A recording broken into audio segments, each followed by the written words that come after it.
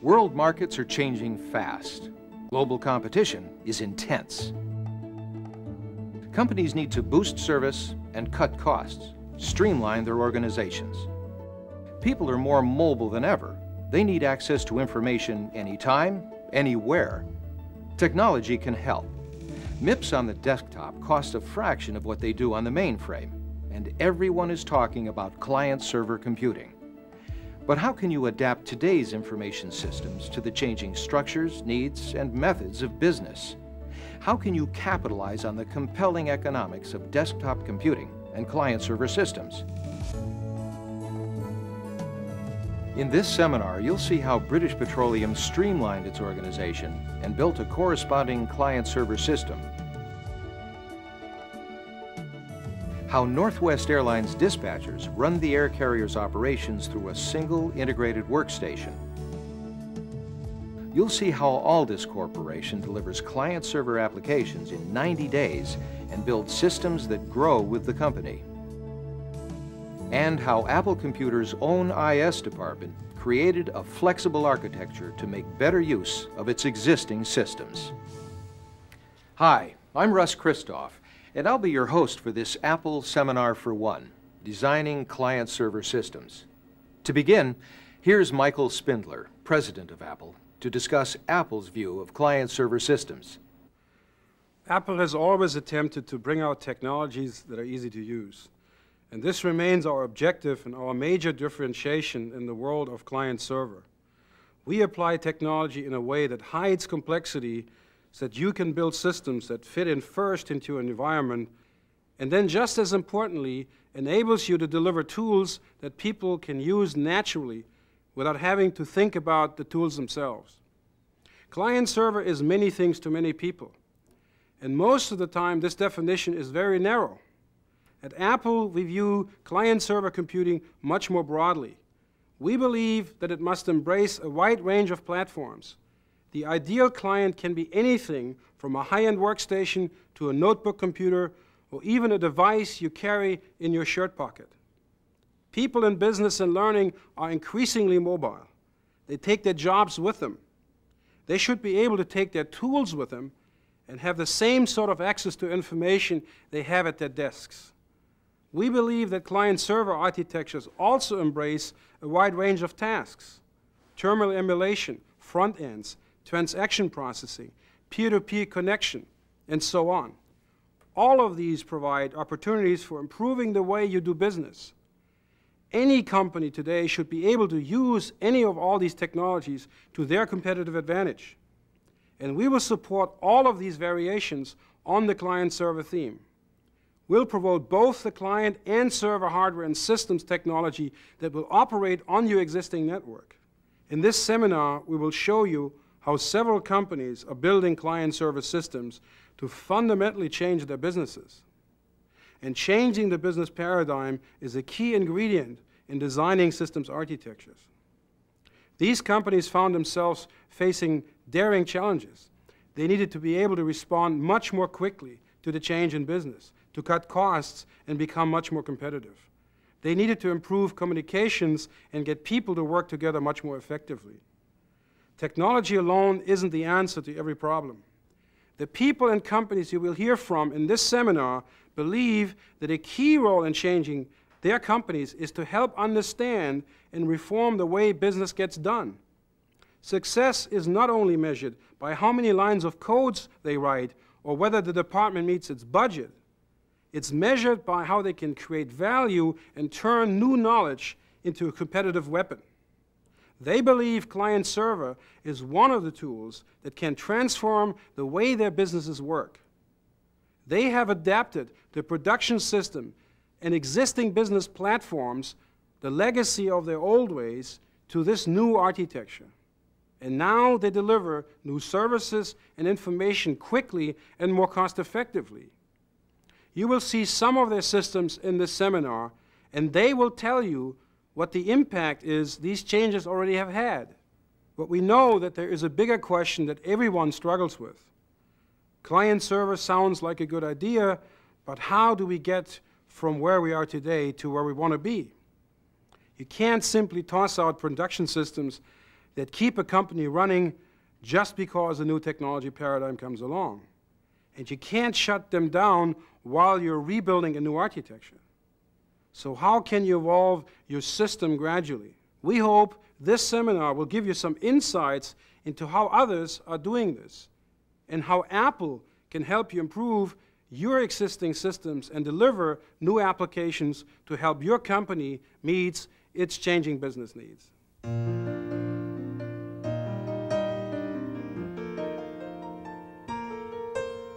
Now let's visit one of the world's largest energy companies, British Petroleum. To support a major corporate restructuring, BP needed to build a new information system that would be used by virtually everyone at their London headquarters. Because people who had never used computers before would now depend on them to communicate and do their jobs, the company decided to model its system on the simple telephone. Everyone has one, everybody knows how to use it, and they're all connected. Making computers as pervasive, as easy to use, and as well connected as the telephone was imperative to make the new downsized headquarters staff an effective team. In this segment, you'll learn how BP reorganized, how it geared information systems to the new structure, what it took to build client-server applications, how users accepted the new system, and how it helped BP meet its goals. Hmm. The major challenges affecting BP today are one, really the increase in the rate of change of the business world and in the world itself. The second is one of increased globalization and with it increased competition. There was also a need, I think, to redesign the corporate centre, which perhaps uh, in the new environment had become much too top-heavy. And technology uh, was going to be fundamental to this. It was going to support our increased emphasis on teamworking. It was going to support our increased emphasis on networking. We were planning to move, and did move, to a, a new building. So therefore we had an excellent opportunity to change the, the technology at the same time. Project 1990's aims were to radically change the way in which the corporate centre operated. The old, large, hierarchical department structure was washed away and replaced by small, functional teams who could then network with one another throughout the corporate centre.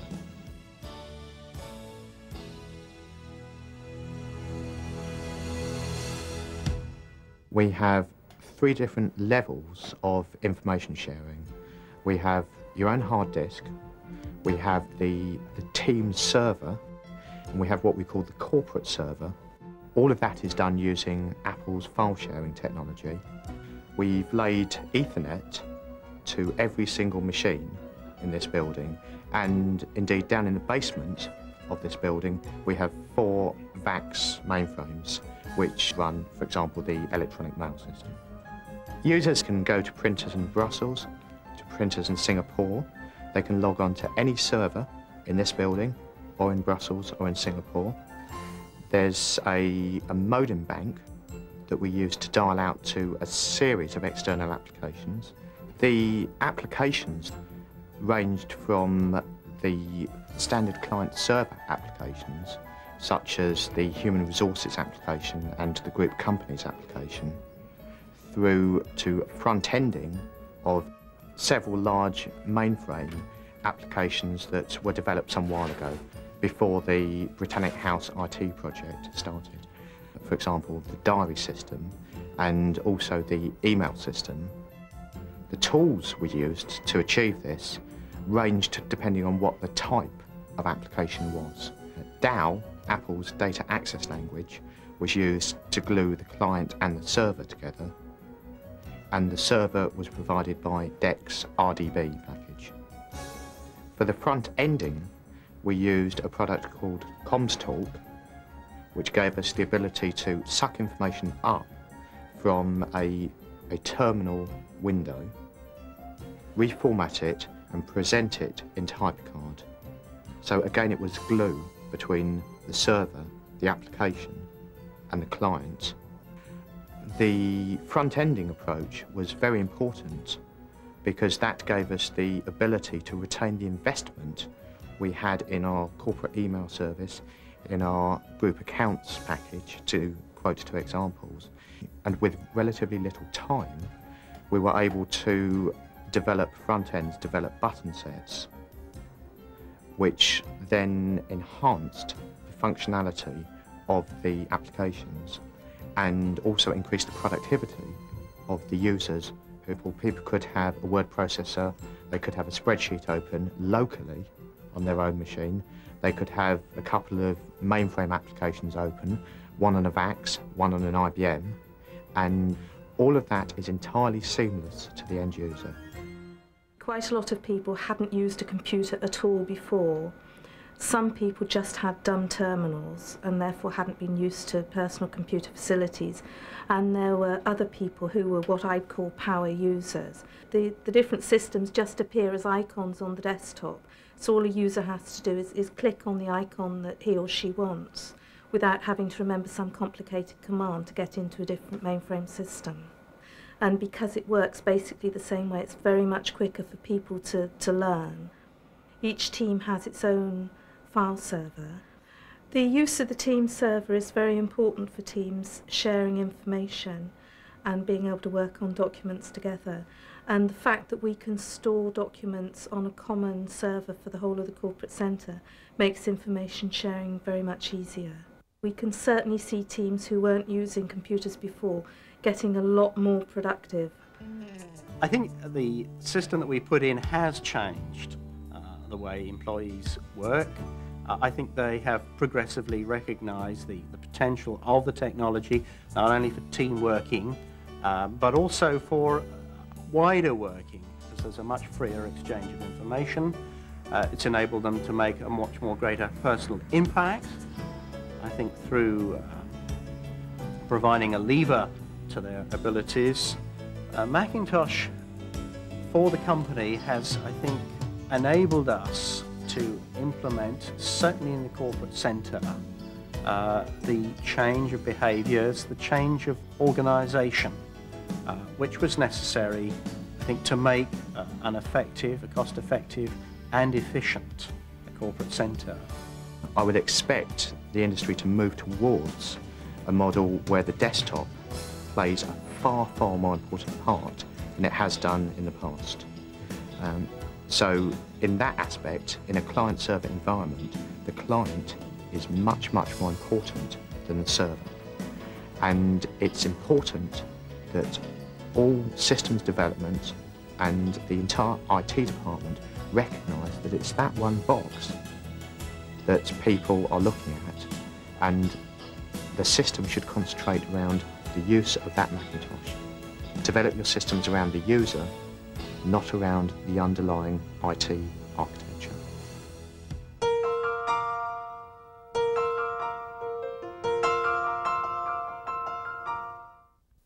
You saw how BP provides a consistent user view of all the systems, old and new, on their network. BP has made services, information, and tools from many sources readily available to the user. Like BP, Northwest Airlines has seen a lot of changes, growing dramatically in recent years, partly through mergers and acquisitions. In the process, they inherited several operational facilities, along with the computer systems that supported them, which raised an interesting problem. How to coordinate these far-flung activities to run the airline more efficiently. As you're about to see, they began by analyzing the way these groups worked together and consolidated critical activities in one location. Then, they came up with the specifications for a client-server system to improve efficiency and communication. A key requirement was that every workstation must be able to integrate information from all their various mainframes, the FAA, and other sources outside and inside the company.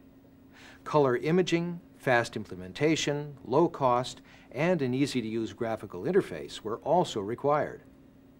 Northwest decided that Apple was the only vendor that could meet all these specs, and the client-server system they built lets them add new capabilities easily as they're developed.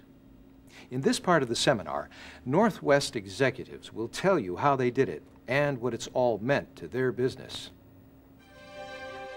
Northwest is the uh, fourth largest airline in the world, and uh, our mission is to become the world's most preferred airline with the best people, each committed to exceeding the customer's expectations every day. One of the ways in which we intend to do that, which I personally get involved with uh, in operations, is by being the most on-time airline. And we achieved that in 1991, and we intend to stay at top of the heap as the number one on-time airline in the United States. Well, Northwest had a special problem that we needed to address because the people who run the airline on a daily basis and try to make optimal decisions for how to keep it running on time with the fewest number of cancellations safely. We're spread out in three different buildings. Northwest analyzed their procedures and ultimately decided to build a new systems operations control center in Minneapolis to bring together 14 different operational departments. So we used functional business modeling to sit down and look at our business processes and how they how they were shared and they flowed between departments in the company, between technical operations, which is our maintenance group, or ground operations, which puts the passengers on the aircraft. Against that model, we can then apply the how it's done, where it's done, in which system it's done, and uh, look at where we have opportunities for improvement. The executives are then able to, to uh, put those opportunities in perspective uh, relative to other opportunities for improvement, and the SOC was obviously uh, necessary. Northwest Airlines, uh, through mergers of various other airlines, has created a diverse mainframe platform. Um, our, our uh, mainframe systems run on Prime, IBM, and Unisys platforms. Flight planning, crew scheduling, uh, meteorology, reservation systems, maintenance and control. It's all running in mainframe systems. These dispatchers had to go in and out of four different systems, literally logging on, logging off, logging into the second one, logging off, etc., in order to do one flight release. What we were able to accomplish with uh, Macintosh was to uh, put all those systems online in a window format and have those instantaneously available without logging on and logging off. Uh, the client-server environment with Apple allows us to present data from each of those systems to the user uh, on a single platform. We selected the Macintosh over the other machines because it was the one machine we felt could give us the connectivity to all our mainframe systems. It gave us flexibility to satisfy many different kinds of users. It gave us the graphics. It gave us the HyperCard application that allows us to quickly do masks and front-end changes to be more user-friendly. With all these things under consideration and the evaluation of the cost-benefit of this machine versus others, Macintosh beat out its competitors. We were on, a, on dumb terminals before, so when we were in WorldFlight, we were in WorldFlight and that was the only screen we had. Right now I've got a small window into an IBM system. I've got three windows open into the Unisys system, two of which are actually tied into WorldFlight, which is our flight planning system, our primary system. Uh, I've also got a window open to our backup flight planning system should something happen to World Flight. These workstations have given us the flexibility to control security and quickly configure the machines to support the individual. So if a dispatcher goes and signs in on an extra position, they know he's a dispatcher, not uh, an assistant.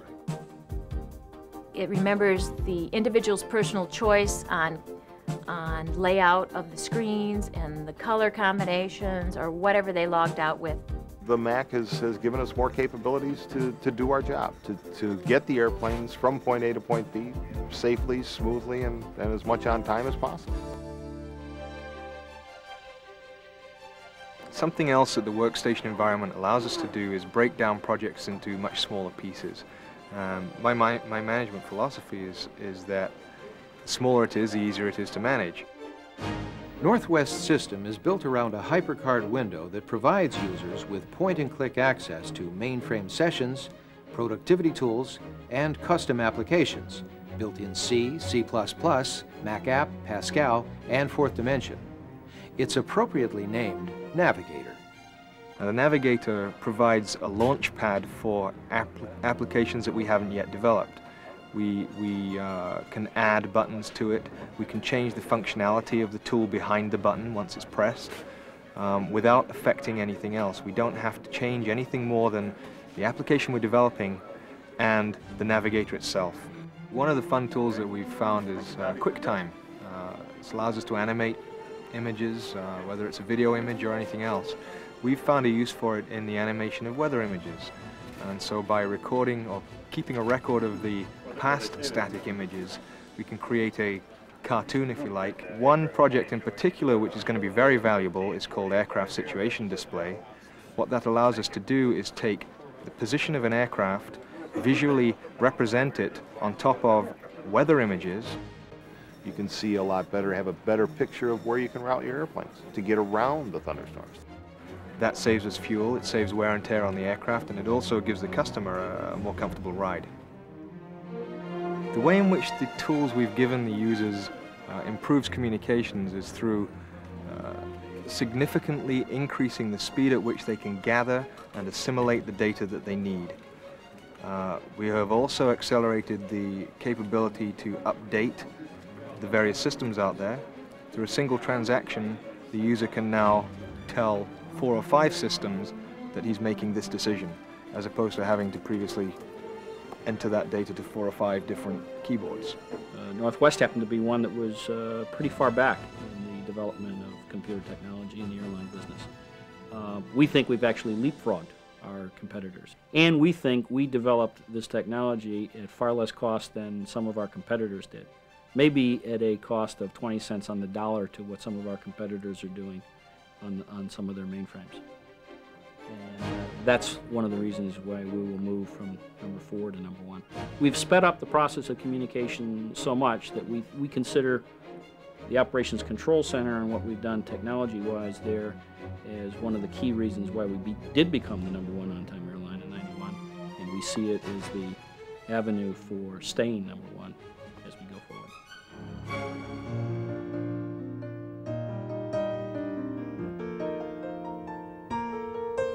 Northwest has jumped ahead of the competition with the help of a money-saving client-server system. It made new applications easier and cheaper to build, and it tied in with existing systems that were built over the years on a traditional mainframe-centered architecture. Now, let's see another approach. Aldus Corporation has decided to gradually evolve its entire IS architecture. They're viewing every application as client-server, and the network and all the devices on it as parts of a single virtual computer. It's a radical vision, but following a carefully thought out plan, they're building it today. In fact, their standardized application development procedure calls for delivering parts of the new architecture with each new application. So let's visit Aldus, where you'll hear the company's perspective on the value of client server, where a consistent application development methodology guides each project and emphasizes return on investment. You'll see the company's first client server application, and hear about their plans for the future. You'll hear why they think it's important to have a vision of where they're going and a plan for how to get there. And they'll tell you why they think they're on the right track. Aldus is a personal computer software company, been in business since 1984. Our customers recognize us as the leader in the area of page layout as well as graphics presentation, both on the Macintosh as well as on the Windows environment. Macintosh is the key tool for us. We support other clients because the reality is that our business is made up of supporting Macs and PCs.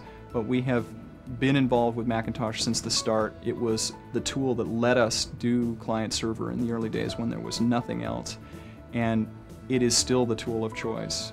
And it's allowed us to do things that we just couldn't have done in any other environment.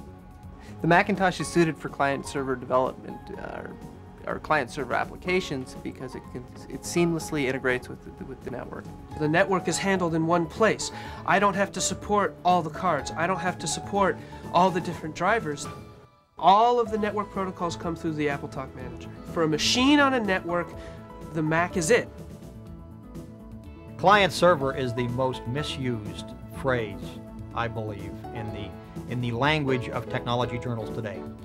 Because what it really means is, how do I marry the applications and capabilities that sit on the desktop to information and transactions that sit in the computer room or on a server on the network? My philosophy is, and our philosophy is that client server can be anything from decision support to order processing to manufacturing to general ledger to whatever you want to do. And in fact, what we've done is we look at every application as being um, what traditionally is called in the industry right now as client server. That is, being able to have a front end cooperatively compute with a back end and separate those transactions to where they should reside most logically. If you've got a flexible environment for developing applications to take advantage of how the business processes are changing or evolving, then that's the only thing you need to change. And the, the part that's stable remains stable. Traditional information systems delivery, we spend 90% of our time engineering the transactions inside the processor. The reality is that purchasable technology has done that for us today. Database systems, operating systems, um, transaction processing monitors have made this stuff something we don't need to concentrate a lot of time on anymore. Where we need to concentrate our time, where you're going to get the bang for the buck, is understanding that business process and making that front end model and that front end application look like what the user expects. Phoenix is our systems development methodology. It is client server, iterative, rapid development. It is a methodology that helps us build application software to support the business processes. Developing client server applications is not unlike developing other types of applications. Having a structured method for developing software applications is really key. I believe the major responsibility of information systems is to be the process re-engineer for a company. Why is that important? Because process is the thing that's going to give you the return on investment. It is not technology. The model under which we work is we identify a customer need, we identify the process to support that need, we re-engineer that process if, it not, if it's not working to support that need, then we do a cost-benefit analysis if we need to build a system. And the cost benefit analysis is based on a three to one return on investment for cost reduction and a two to one return on investment for revenue generation. And the model is that we will deliver this capability in no more than 90 days, 18 weeks, and we will be able to measure the return in the first 12 months after the technology is implemented into production. One of the processes that was not working for the company was order processing, and specifically very complex orders that were coming from um, some of our largest customers. And the reason the process wasn't working is because it was relatively complex because it went through multiple screens and had to deal with multiple data files that sat on, sat on a central system. And then there was ancillary information that had to come off of some hard copy and some other database that sat on Macintoshes in fourth dimension. So we used HyperCard to automate a lot of those functions, provide uh, many of the decision support tools necessary for these people, and eliminated a lot of the manual steps that they had to go through. We decided not to write host code because the package we were using was written in the 70s and it had a lot of spaghetti code and we didn't that was just a can of worms to, to jump in there and try and integrate them on the back end. So we knew once it got to the terminal side of things, we could trap the data uh, and coordinate the activities. So we built the purchase order system. We tied to the prime over asynchronous lines with a uh, terminal emulation package running in the background. The application would actually operate these applications on the back end without the user seeing this. All the user saw was this graphical front end and it doubled the orders that could be placed in the same amount of time and moved our backlog to two days. That, again, I believe, is the way that every company should look at implementing client server. Enable the front end of a back end transaction and don't rip out the old and assume you got to re engineer everything in order to make this stuff work. Each development project moves Aldus closer to a future architecture that lets systems evolve along with the company. Eventually, that architecture will reduce maintenance and extend the life of applications. Today, it is part plan and part vision, but Aldus is gradually designing it into their production systems. The architecture is called Blacksmith. Originally, Blacksmith came about because we were we were starting a new client server development project, and we knew we had two approaches. We could either go in and hard code that application and essentially produce a, a one-off, or we could start building a foundation for ongoing client server development. Blacksmith today is defined as a, a systems development architecture for building what we call real-time cooperative computing applications. So users can sit down on a graphical screen, model their process, it automatically goes out to an object library, picks up the object function components, and connects to the data resources in order to deliver that capability to the user as quickly as possible, and they are in total control. The principal component, I think, is a modeling environment, um, very much like a, a case tool or a, an entity relationship diagrammer that would allow a novice or a local expert in a user group to sit down and graphically produce an image that represents the type of work that they're trying to do or the problem that they're trying to solve. Eventually, we expect Blacksmith to be aware of the corporate data model. And so if I am trying to produce a particular application, there will be expert systems help available to let me know what data sources are available. As Aldus's IS group builds applications, they're also developing pieces of the evolving blacksmith architecture. Our next effort was Ant Farm, which is a defect tracking database for engineering and software quality assurance group. And this was the first application written in C using the blacksmith architecture. Our next effort is a system called Navigator, and it's designed to allow our tech support people access to an information base. It's a diagnostic tool so that when they're on the phone, they can rapidly get the answer to customer questions and improve customer service. We're building this thing iteratively. We we started it with Ant Farm, which is which will be a production application. Uh, Navigator, which is our next one, we're going to improve it a little bit more, and that'll be our that's going to be a production application. And then finally, our third third iteration is where we're going to probably be building Blacksmith proper. And this will not be the final version of Blacksmith, but it'll be, be the groundwork. We believe that the vision is is the critical determinant of whether you're going to be successful or not successful. Um, and what we've done is our entire organization has a common vision for what we are trying to accomplish. And I'm not here to tell you that we have achieved totally that vision, but we're all heading toward it. We all know what we want to do.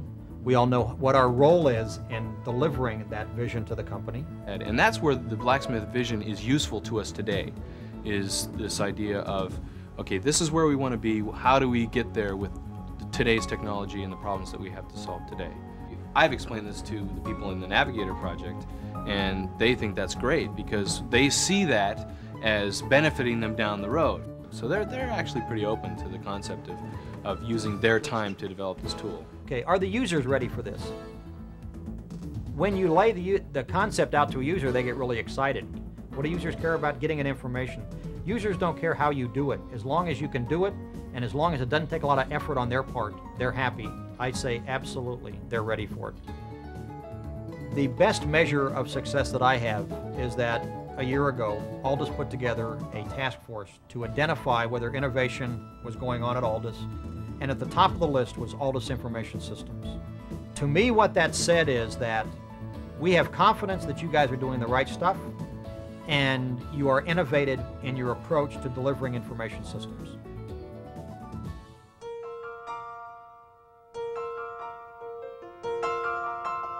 A few years ago, Apple Computer faced a common corporate dilemma. Like most other large corporations, Apple relied on a myriad of systems running on IBM, Digital, Tandem, and other hosts.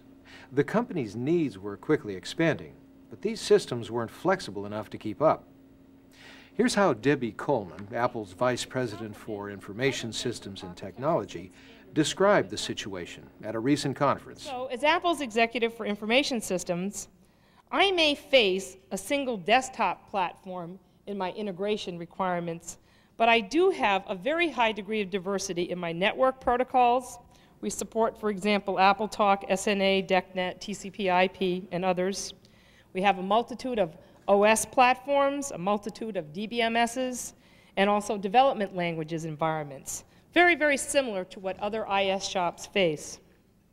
So as do my counterparts, I also need to preserve our investment in our existing technology, while at the same time move to the client-server computing model. It seems to me increasingly at every IS conference I attend the IS execs there are talking more and more about the same thing. How do we construct systems that support client server and peer to peer approaches to computing? So, given our objectives, we needed to rethink how to approach systems design by adding a technical architecture layer. Like many fast growing companies, over time, Apple had built an array of individual and hard to integrate systems. Recently, Apple's IS team developed a strategy that would gradually pull these isolated systems together. It created a structure and a set of tools that unified existing systems from the outside. The goal was to integrate data and use data more flexibly without radically re-engineering applications. The strategy worked. It gave users improved access to corporate systems. It bought time for IS it even freed IS from specific vendors. Soon, Apple's customers wanted to know more about this approach. In this segment, you'll see how that strategy, called Vital, offers a valuable perspective on client-server. You'll see how Vital helped Apple design a data entry system used by the company's dealers and service providers to order products from Apple, and how another application boosted the efficiency of a management reporting system for Apple's Pacific division. We'll see why client-server will mean increased flexibility and efficiency for enterprises in the 90s and how this technology is shaping Apple's plans for the future. You know, as any other rapidly growing company in a rapidly changing market, in fact, we had grown up over time building systems for departments, meeting specific needs, and at some point you reach a critical mass where the needs of individual departments start coming together. When that happens, what you find out is each one of those uh, systems was developed for specific needs, not with any idea that they'd ever be integrated.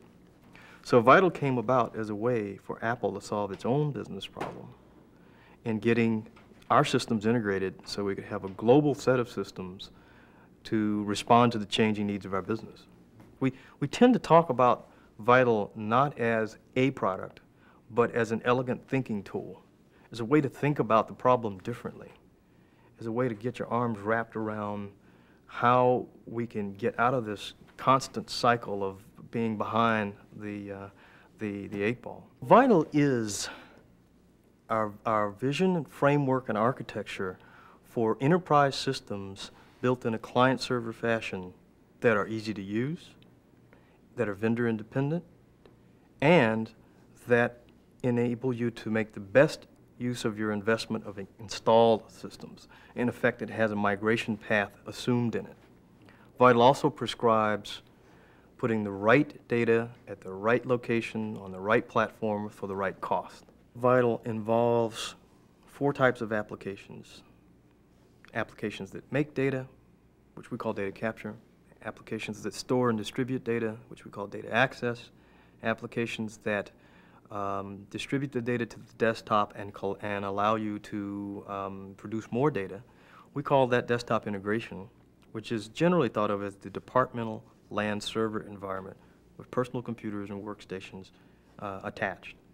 And ultimately, there's also the repository environment that manages the interaction between the systems that make data and the systems that distribute data. It also is the place where you store all the business rules, all of the data about data, the data about code, and so Vital supports a conceptual model of those four types of applications implemented in a client-server fashion on an infrastructure that is highly networked and is built for distributed computing that is multi-vendor. Apple Order is a client-server system that's used by dealers and service providers to order products from Apple. Here's how it works. At the customer's site, Apple Order sits on a client Macintosh or local server. It includes a database containing customer and order information and a catalog of Apple products and communications software. The customer fills out orders offline by selecting parts, entering quantities, and dropping the order in an outbasket file. They can also enter queries about the status of outstanding orders. The host server includes a transaction processor that is a front end to Apple's order management system. When the client connects by modem to this server, customer information is first validated. Then the client database is automatically updated as necessary to synchronize it with the database on the host. Next, the new orders are processed, and as they are accepted by the host, the client database is notified of order numbers and estimated ship dates. When all the requests have been processed, Apple Order automatically disconnects from the network. The benefits of actually doing client server are you can do deferred processing, meaning you do not have to be attached to a mainframe or a server to capture the transactions. So when you have a client server environment, the client submits transactions or pre-validated transactions which have a very high probability of being accepted. So given that the mainframe now can be tuned for throughput of pre-validated transactions as opposed to dealing with transactions that they have to revalidate it again and again and again. Apple Order shows how client server can help you re-engineer a business process to reduce paperwork and communicate with your suppliers and customers more efficiently. What we're doing is we're leveraging our IS systems to, uh, to provide a service to our dealers, to our resellers and service providers by providing access to our information systems and giving them that kind of level of functionality that they need to to conduct their business. Managing the inventory is much easier since I can see what I have in stock, see what I have on order and see if something is in transit between Apple and, and me. By having access to the status of the products, uh, I can tell my salespeople what's been shipped, when we should expect it. Uh, it can help them to close more sales and give a more timely delivery on the product. With the Apple order system now, I can definitely say that for service, we're a lot more efficient. The turnaround time on parts is a lot faster now than it was in the past, and the paperwork has been reduced tremendously. Apple's Pacific division needed a way to give executives access to sales and inventory information stored in flat file databases. Apple Pacific had a system that was built on um, uh, old sort of 70s technologies, and actually this is very common in information systems that tend to move slowly, technology-wise.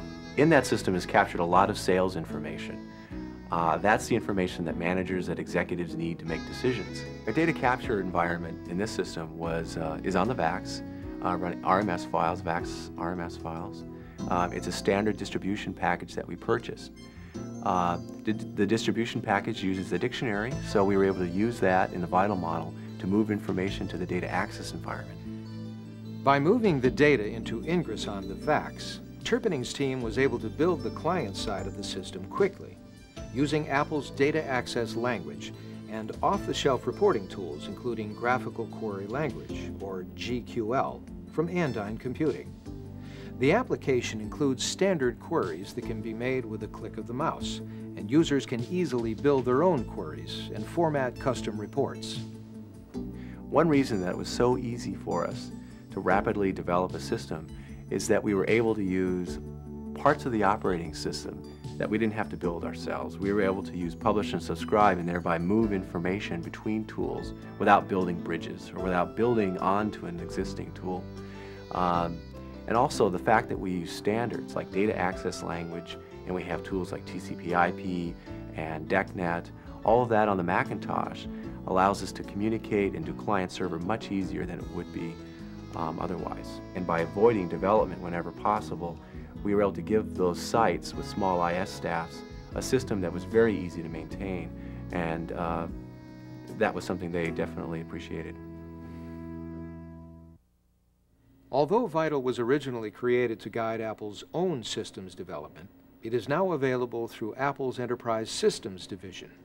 This is a case where we built an architecture for our own needs, and as our customers heard about it, they said, I like that. Let me use that as a guide. Vital isn't something that you adopt per se, but that you adapt to your own environment. So in other words, instead of being at the mercy of a single vendor's um, uh, integration products and technologies, you now get to pick and choose based on the economics of use and the business application that you're trying to create to help run your business more effectively. You get to, to pick and choose among a variety of these platforms, and Vital helps you create a very coherent whole out of these, these disparate products and technologies without having to, I, I, think as the fellow from Stanford said, you know, shut down one lane of the highway. You can, you know, you can add a third and fourth lane to a two-lane highway while, while traffic still flows. So, so that's the benefit that I see to it. Vital is partly a synthesis of some strategies and principles that IS people are telling the computer industry they find important. So it's not only a framework that you can use to evolve your own systems, but a guide for Apple's future as well. It's helping Apple to identify new product areas and new opportunities to collaborate with others in the industry. Vital has expanded Apple's scope of its potential business. It's expanded our scope of where we fit in and add value. And it has also told us that uh, where we can work very closely with vendors that in the past may have been our competitors. Customers can expect Apple to play a role uh, in departmental workstations, personal computers, notebooks, and servers. You can expect us to also provide software as services that run on these servers. On the other hand, the parameters probably uh, point out where we're not going to play with an Apple logo on it, where we have to cooperate with other partners. Partners that have a lot of experience in transaction processing and data capture, in managing uh, a backbone infrastructure network, uh, multi-vendor environment, providing lots of hands-on consulting services to build these applications and write code and so forth require some of the bigger partners out there. Require some of the big systems vendors, database vendors, networking vendors, and systems integrators, and we plan to partner with a group of them. So in the 90s, no one vendor can go it alone. No one vendor can solve the problem because the problems are varied, they're complex, and frankly, you, you have to face the reality that, that customers have products from many different vendors. It's in everybody's best interest to work together.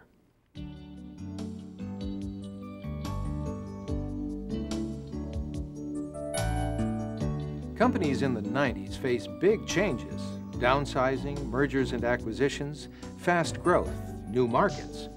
Many firms are fundamentally rethinking the way they do business. And many believe client-server technology delivers the flexibility to meet these challenges. Here are some important reasons why.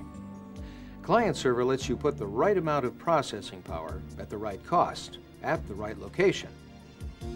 Client server gives you many options, from quickly building front ends for host systems to developing ambitious peer-to-peer -peer applications. With client server technology, you can leverage your current host systems and introduce new systems at your own pace. The companies you've seen all started with a clear idea of what client server systems would achieve today and tomorrow. Apple technology provides the connectivity and flexibility that you need to build powerful client-server systems, systems that help you adapt and compete. We achieved much of what we wanted to do in terms of speeding up the process of, of order entry in these, for these particular types of orders. And it's, it's been a really powerful tool. It allowed us to get to the point where we could handle these orders once or twice as opposed to five or six times and so it's definitely paid for itself.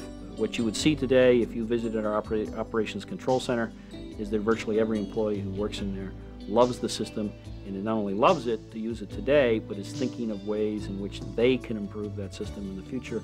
They pass that on to our development group, to our IS group, and we're off and running. So we have a very dynamic, ever-growing, ever-improving system, which will keep us number one.